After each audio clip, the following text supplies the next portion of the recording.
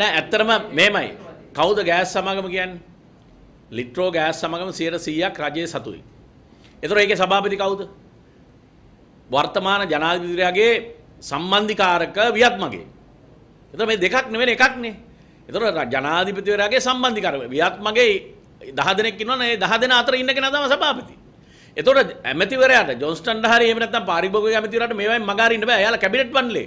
හැටියට අමාත්‍යවරු හැටියට මේ සියලු දෙනාට වක් කියන්න ඕන. මේක සභාපතිට විතර ලඝු කරන්න බෑ. මේ සභාපතියා මේ ක්‍රියාවලිය යෙදිලා තියෙන අපි ඒකයි කිව්වේ ඉහළ දේශපාලන බලපෑමක් උඩ. ගෑස් සමාගම මේ මේ මේ සිද්ධි මේ මාස තුනක් තුල ඇති වෙනකම් මේවා උන්නේ නැහනේ.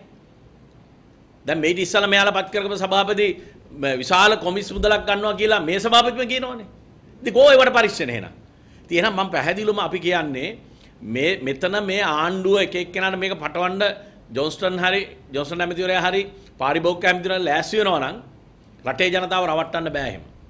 මේක සම්පූර්ණ 100%ක් වගකීම රජයේ සතු